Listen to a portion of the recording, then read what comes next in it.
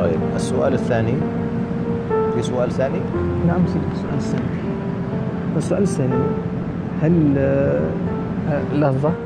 اقرأه. آه، هل نستطيع نذكر؟ أول شيء بالعربي بعدين نعم. اقرأ اقرأ. على الجوال. اقرأه. uh, السؤال الثاني السؤال yang kedua هل نستطيع أن نذكر بغير مأثور ذكر غير معثور غير المأثور. غير معثور يعني ما في في في كتب الحديث أو سنة هكذا.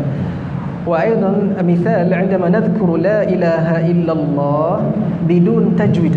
مثلا نحن نقول لا إله إلا الله بدون طويل يعني بدون مد في كلمة لا. هل يجوز أم لا؟ جميل. jadi uh, afan sini uh, terjemah نعم. jadi soalan yang kedua boleh tak kita zikir dengan zikir yang ghair ma'thur? Maksud dia yang tidak ada asar daripada Nabi wasallam atau para sahabat? Itu yang pertama. Dan yang kedua contohnya kita zikir la ilaha illallah tanpa tajwid. Macam orang-orang buat tahlil. Tak ada panjang la ilaha tak ada. Kita baca pendek je la ilaha illallah. Boleh ke tak boleh? Ha kita dengar jawapan dia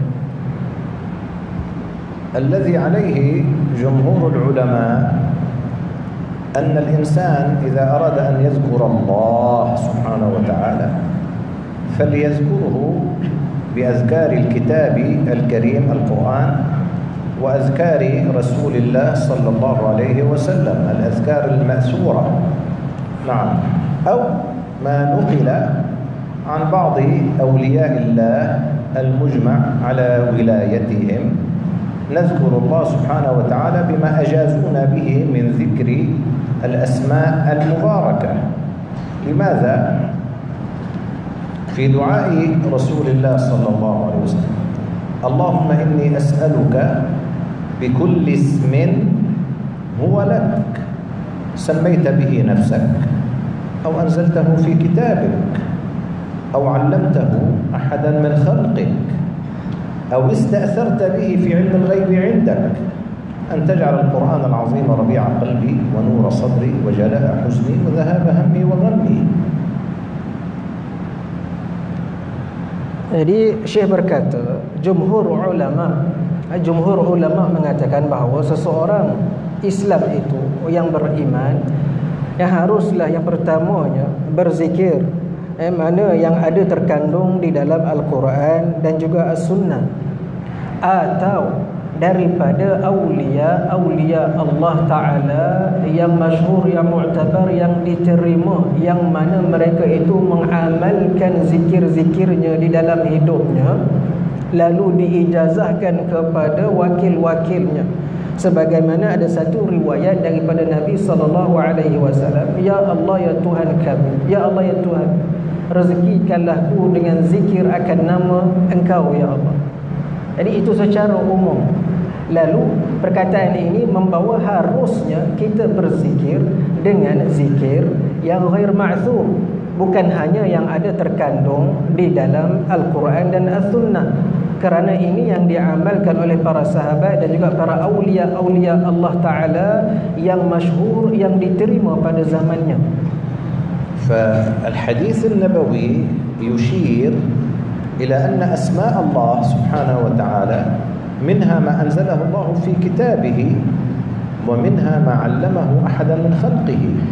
أسألك بكل اسم هو لك سميت به نفسك أو أنزلته في كتابك أو علمته أحدا من خلقك.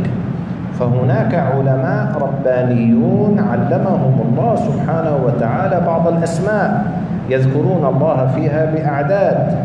فمن أجيز له نعم أخذ ذلك عنهم بالإجازة والإذن لا مانع في الشرع أن يذكر الله بذلك ولا يأثم بهذا لأنه قد اتبع نعم سبيلا من سبل الهداية. الله عز وجل قال في محكم التنزيل واتبع سبيل من أناب إلي. واتبع سبيل من أناب إلي فهؤلاء الأولياء أنابوا إلى الله فلهم سبيل لهم سبيل متبع أمرنا الله سبحانه وتعالى باتباعه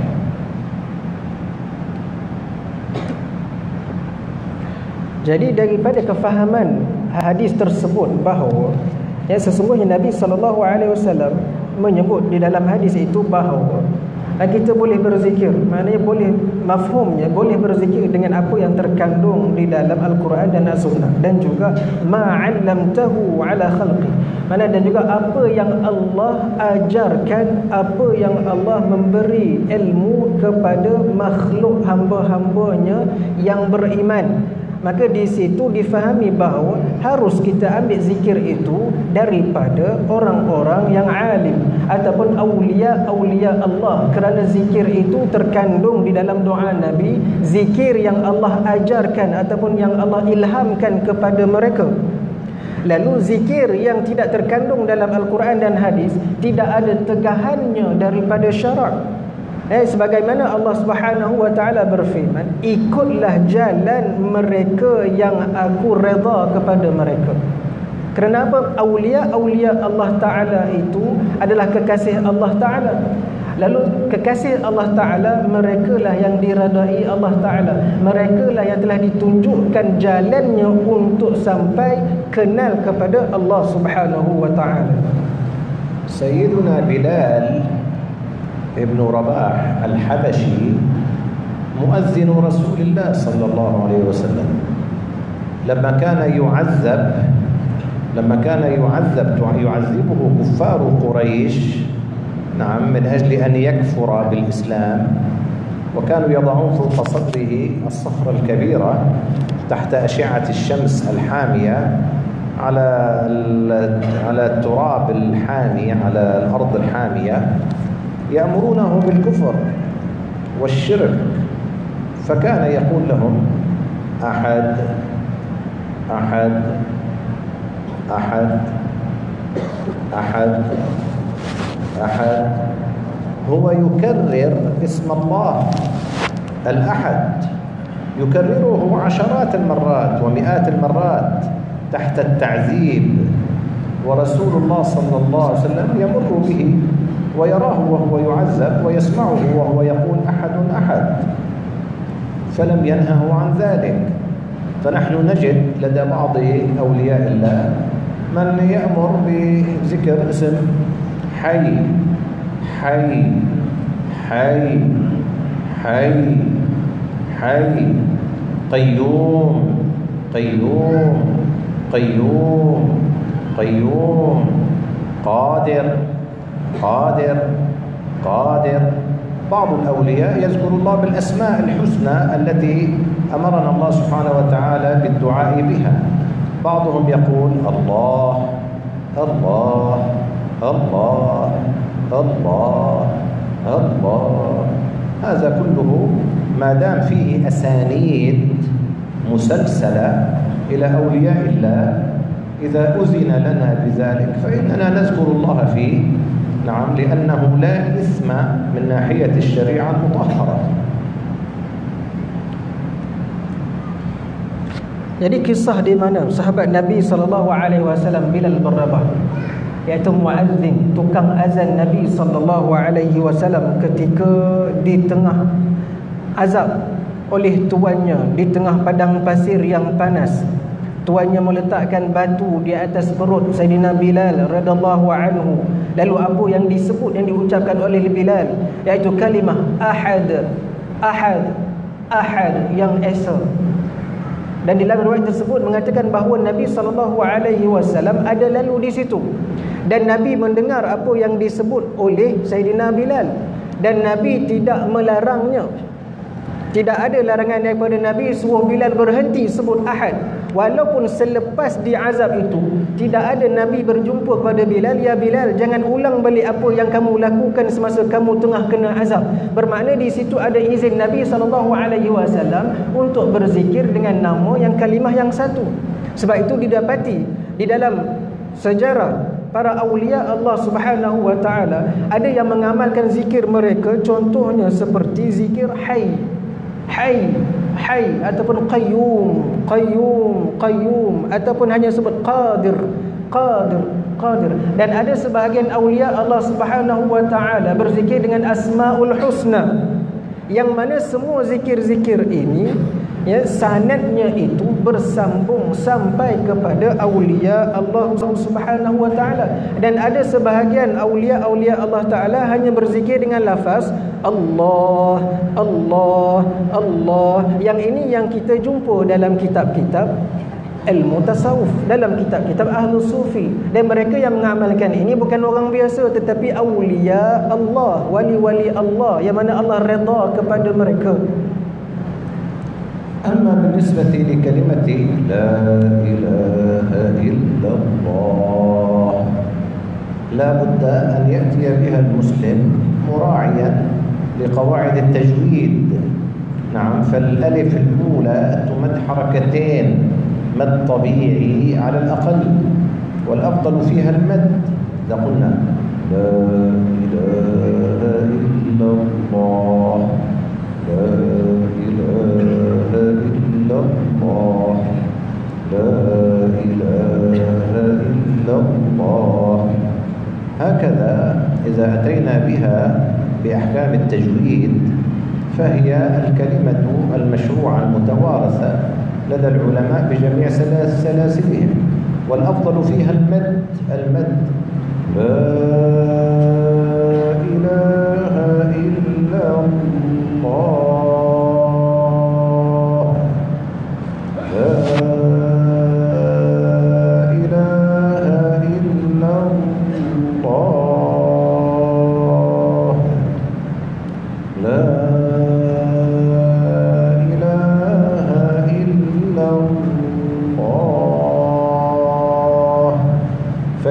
الألف الأولى ست حركات واسم الله ست حركات وبعضهم أجاز في غير القرآن الكريم مد اسم الله إلى ست عشرة حركة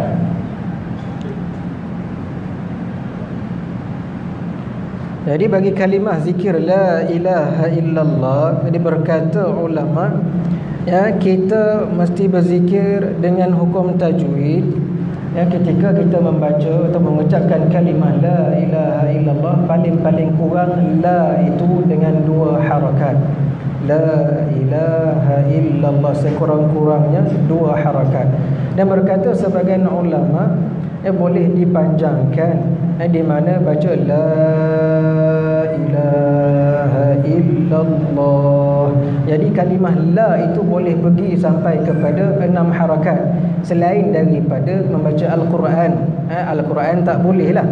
Selain luar daripada bacaan al-Quran, la itu boleh dibaca enam harakat. Allah itu boleh dibaca enam harakat panjang, bahkan lebih sehingga ke sepuluh harakat selain daripada bacaan al-Quran. Tafadol Ayat silah. نعم هل نحتاج إلى الطريقة في زماننا الآن؟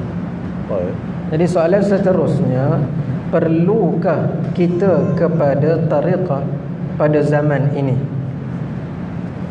الطريقة هي العمل بالشريعة الله عز وجل قال في محكم التنزيل وأن لو استقاموا على الطريقة لأسقيناهم ماء غدقا فما هي الطريقة؟ العمل بالشريعة على وجه الإخلاص.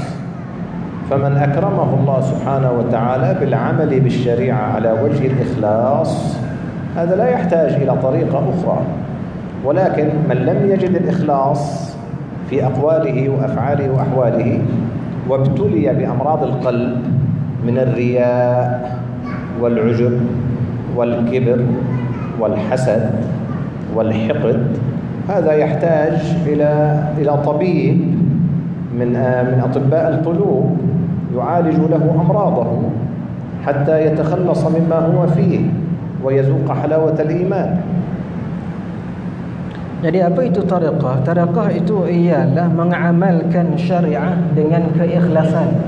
Itu makna tariqah. Ya ikhlas itu makna ikhlas dari sudut perkataannya, perbuatannya, dan akhlaknya dan juga hal ahwal keadaannya. Jikalau seseorang itu sudah sampai kepada tahap di mana beramal dengan ikhlas pada empat-empat keadaannya itu, maka tak perlu lagi kepada tariqat. Tetapi jika didapati bahawa diri kita itu tidak ada keikhlasan pada semua perkataan, perbuatan, amal, akhlak kita dan juga hal ahwal keadaan kita semua itu ataupun kita ditimpa oleh penyakit-penyakit hati dan ini perlu kita kepada satu jalan di mana untuk mengobati perlu kepada doktor rohani doktor hati sebagaimana perlunya pada kita doktor jasmani Begitu jugalah untuk penyakit-penyakit hati kita ini perlunya kepada doktor-doktor rohani. وقد فصل بعض العلماء تفصيلا دقيقا فقال من كان فيه علة من علل الأعمال من علل الأعمال فهذا يجب عليه أن يتطبب عند طبيب. أما من انتهى عافاه الله من علل الأعمال ومن رعونات النفس فإنه يستحب له أن ينتسب إلى سلسلة من سلاسل أولياء الله رضوان الله تعالى عليهم ليتشبه بهم وليكون معهم استحبابا وليس على طريق الوجوب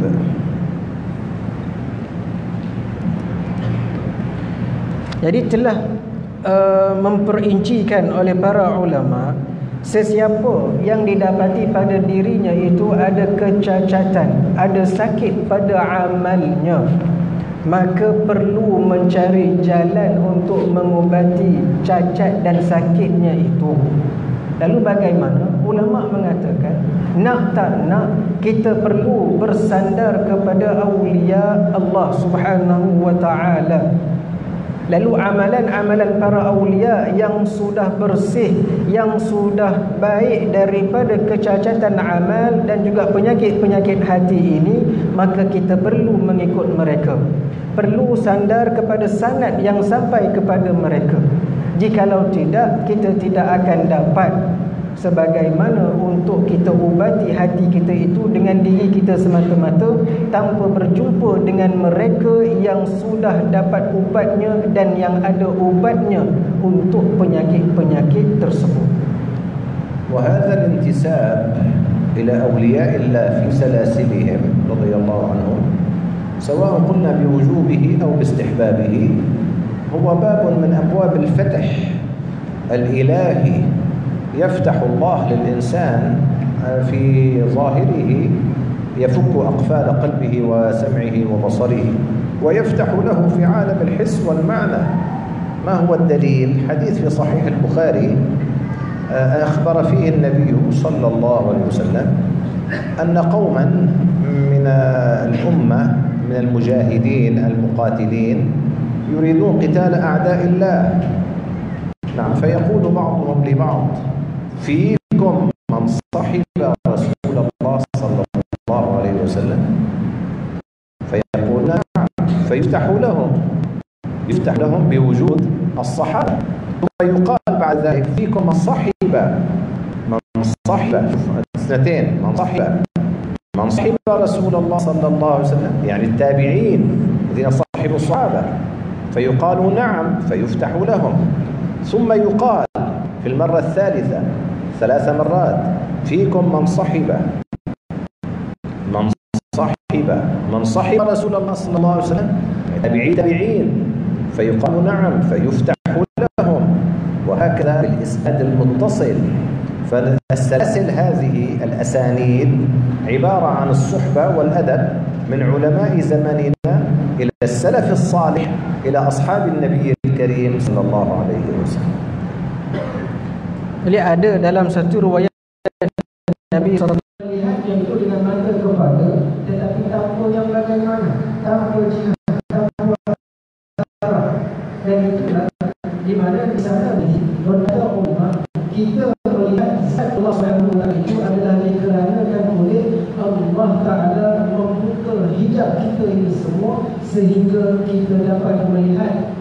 zat Allah Subhanahu wa taala. Begitu juga sebahagian yang apa dikatakan oleh ulama akidah kita bahawa golongan Mu'tazilah menafikan yang kita boleh melihat Allah Subhanahu wa taala. Dan ada pun akidah Ahli Sunnah wal Jamaah mengharuskan bahawa kita akan dibuka hijab lalu akan melihat Allah Subhanahu wa taala zatnya Allah taala dengan mata kepala.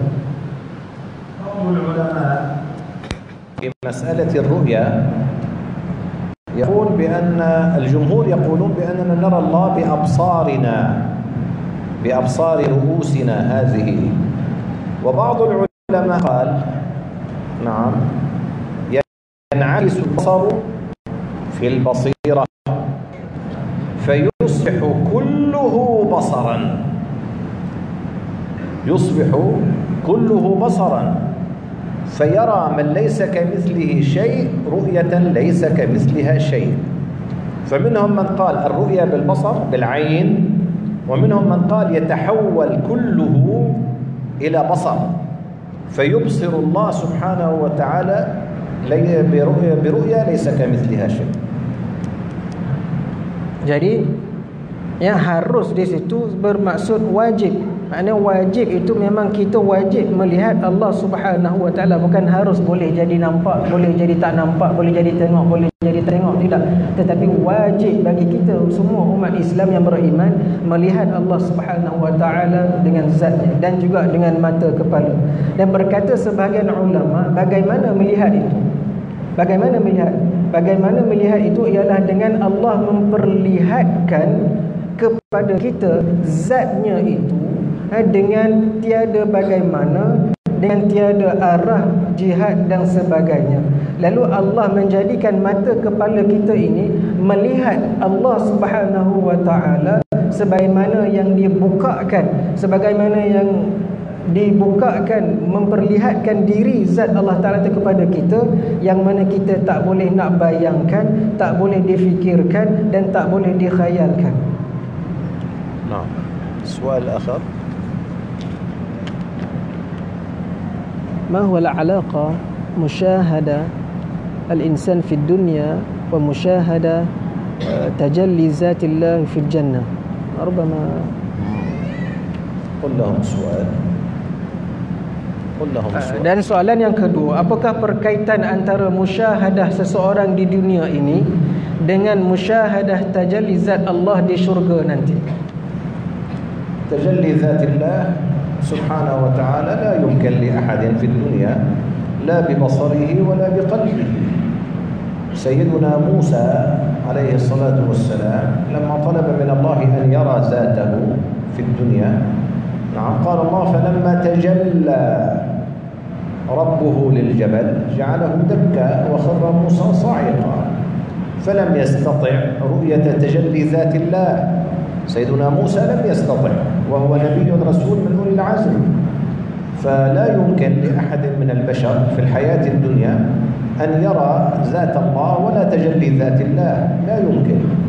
إلا استثني سيدنا محمد صلى الله عليه وسلم على أحد القولين بأنه ليلة المعراج رأى الله سبحانه وتعالى رؤية ليس كمثلها شيء. من غير إحاطة ولا انحصار في جهة Jadi perbezaannya ialah kita semua eh, tidak mungkin melihat Allah Subhanahu wa taala di dunia ini sehingga Nabi Musa alaihi salam sekalipun apabila Allah berfirman apabila Allah nak mentajallikan nak menzahirkan Allah taala itu di atas bukit itu maka bergoncang lalu tidak dapat juga melihat oleh Nabi Musa alaihi salam akan zat Allah taala itu. Jadi ulama menegaskan bahawa ya kita manusia memang tidak sesekali boleh melihat Allah Subhanahu wa taala di dunia ini. Akan tetapi ulama berkata hanya pada seorang iaitu hanya pada Nabi sallallahu alaihi wasallam ketika Mi'raj Nabi ke langit lalu Nabi sallallahu alaihi wasallam melihat Allah Subhanahu wa taala tetapi melihat itu tanpa bagaimana dan juga tanpa bertempat. Baik. Di soal akhir. Baik, soalan dekat saya dah habis dah. Siapa nak tambah lagi boleh? نعم آه، ننتظر سؤال من الحاضرين في سؤال Siapa ada soalan bertanya jangan malu jangan segan rebutlah peluang yang ada ini dengan sebaik-baiknya. Naam. السلام والسلام قرب قرب إلى هنا لا نسمع Apa di sini? هناك هناك شغال هذا شيخ Situ buka tak? Uh, mic dekat tu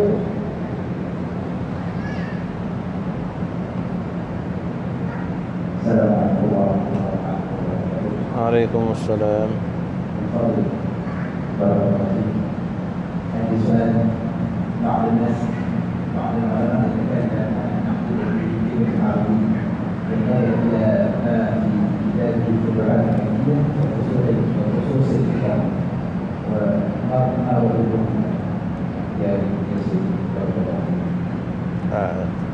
Jadi soalannya ialah berkenaan tentang sebahagian di antara kita ada menyebut tentang akidah Ibn Arabi.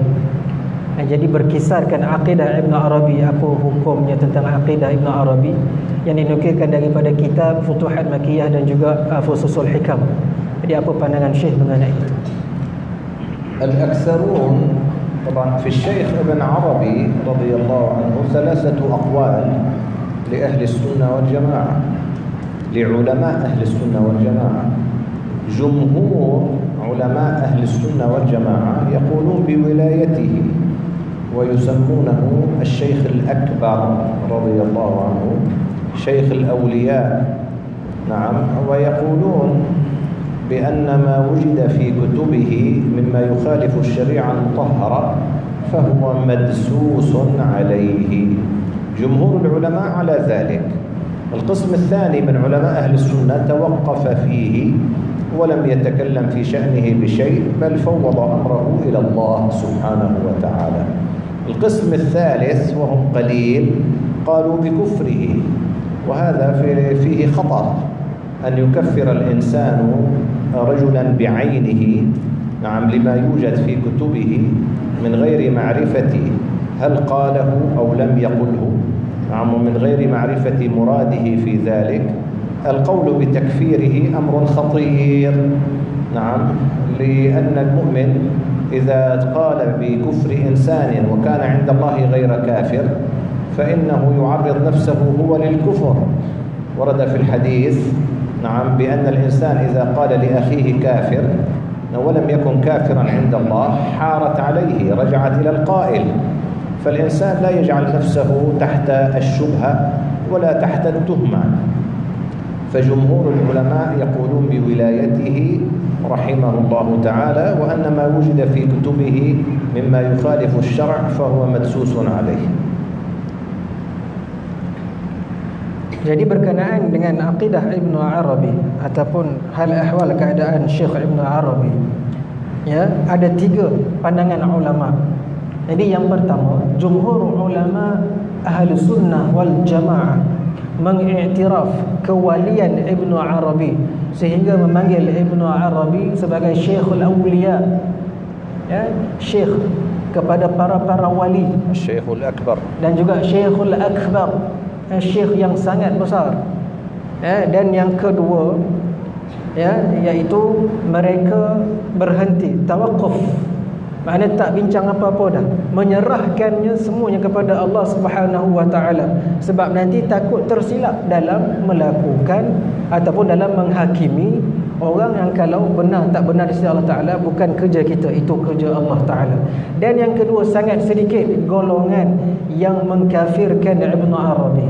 Lalu pengkafiran kepada seseorang adalah salah di sisi ahli sunnah wal jamaah tidak boleh kita mengkafirkan diri individu seseorang itu dengan hanya sangka-sangkaan ataupun dengan hanya rujuk satu dua kitab sahaja. Sedangkan Imam Ibn Arabi memiliki banyak beratus-ratus kitab dan ulama jumhur ulama kita telah mengiktiraf bahawa akidah Ibn Arabi adalah akidah ahli sunnah wal jamaah dan tidak terkeluar daripada akidah yang sahih dan yang benar. Lalu sebagaimana berlaku di dalam sabda Nabi wasallam, sesiapa yang mengkafirkan saudaranya ataupun sesiapa yang mengatakan kafir kepada saudaranya yang Islam, maka boleh jadi kafir itu balik kepada diri dia balik. Eh jadi kita jangan meletakkan diri kita eh, di dalam keadaan yang kesamaran Adakah kita yakin dengan apa yang kita putuskan itu benar, sahih ataupun hanyalah sangkaan ataupun masih lagi duduk di dalam keadaan kesamaran?